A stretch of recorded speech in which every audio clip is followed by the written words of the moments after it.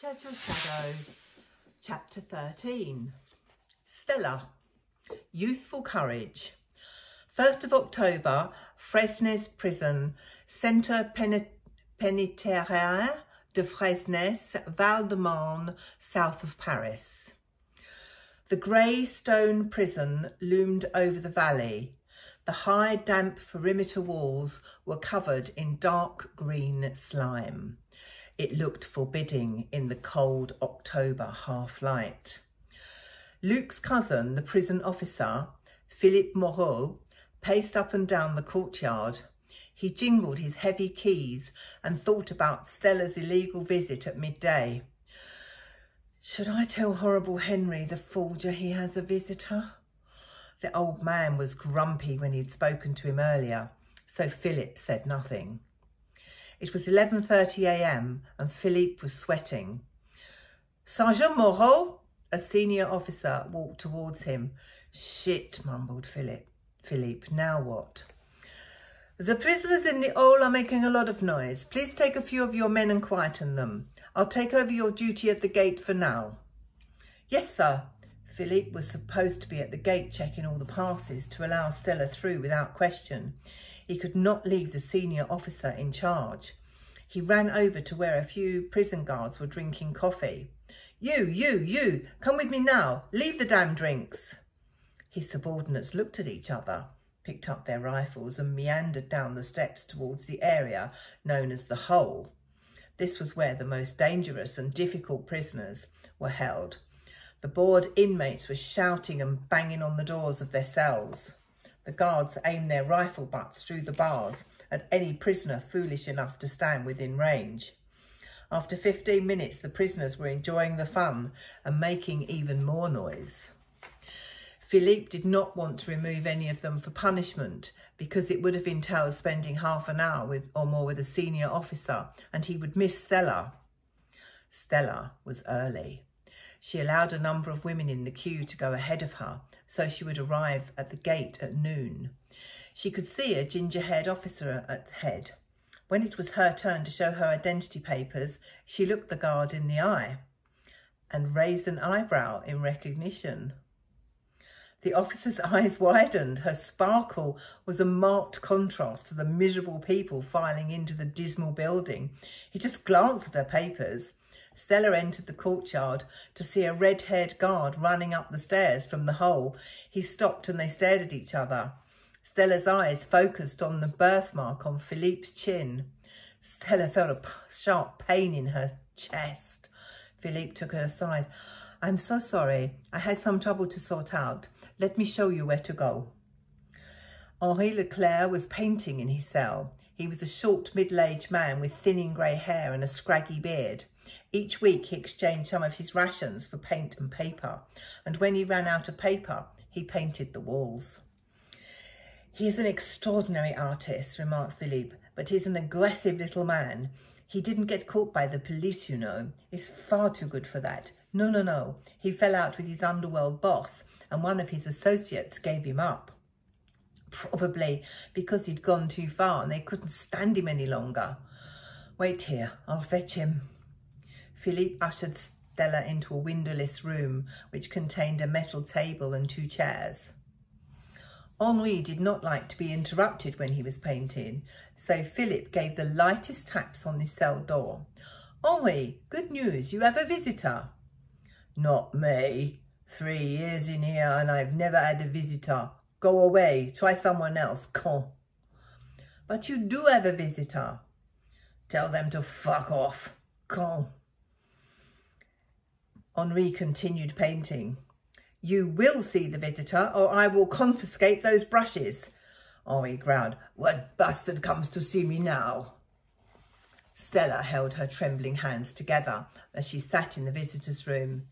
Philippe led Henri to her table and withdrew to the corner. Who the hell are you, con? Henri slumped, slumped onto a metal chair. My name is Stella and I work with some people who need your skills. I want to try and help you escape. With my mission, I've only 18 months to serve. Why the hell would I want to escape now? We desperately need your help to forge papers for us. Our people risk being arrested because we can't get their papers 100% correct. I don't give a shit about your people. If I escape and they catch me, they will put me away for another 10 years. Goodbye. Please, Henri, sit down. Henri hesitated. Please, Stella indicated to the other chair and he sat down again. Look, Henri, you may not care about us, but it is our people and others like them who are fighting the Germans on French soil. It's not my war. I was in here before it started and I'll be, it'll be finished when I come out. Henri stood up again. Philippe moved forward. Well, mademoiselle, no point in you bothering to visit us again. I might be out of a job soon. Out of a job? Stella began to put her coat on. The German military are taking over the prison. That's all I need. Down Germans guarding me, growled Henry. Oh no, they won't be guarding you. It's rumoured the place would just be for political prisoners. Philippe began to usher Stella towards the door. So I'll be going home then. I'll be going home then. Goodbye, lady. Philip winked at Stella. I shouldn't think so. I'm pretty sure I heard one of the senior officers talking with the German lieutenant about transporting prisoners from here to German labour camps. Anyhow, I'm sure you'll be fine. You've 18 months left to serve. It's the poor buggers in the hole I feel sorry for. The Germans have decided to execute them all. Stella used this as a cue.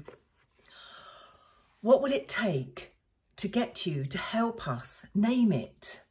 Henri's eyes flickered. What? Anything? We'll give you what you want if you work for us until the Germans have been driven out of France. Mmm. Henri looked at the ceiling. I want a full pardon and 20,000 francs. Well, began Stella. Henri interrupted. A house with a studio to work in, in her someone to cook and clean, and a pretty girl just like you to attend to my other needs.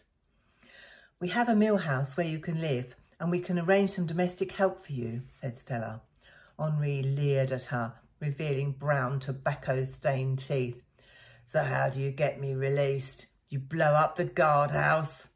Stella smiled. She had him. If we get the information, can you forge your own release papers? Get me a copy of Petain's signature and one of the stamps from his personal seal.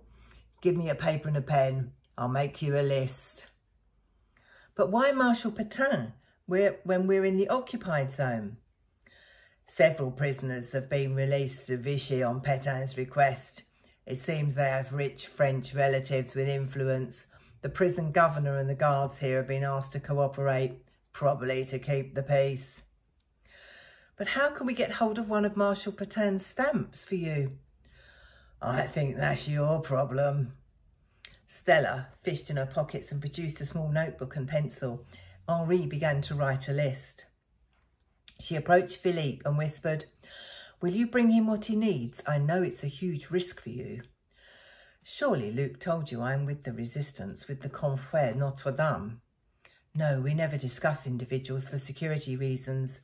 Each of us is told only what we need to know, in case anyone gets captured and interrogated. Stella smiled at Philippe. Anyway, thank goodness you can help. We'll be very grateful. Henri finished his list and handed it to Stella. Now get lost. I was in the middle of putting the finishing touches to my latest work. He got up and walked to the door. He turned and gave Stella a sardonic smile before heading back to his cell. Stella plunged her hands in her pockets as she walked out of the prison. How are we going to get a stamp used by Marshal Petain? Philippe escorted her as far as the bridge by the gate. I think you'll have to consult your group. It's not going to be easy. Is the Prime Minister of Vichy France in a free zone?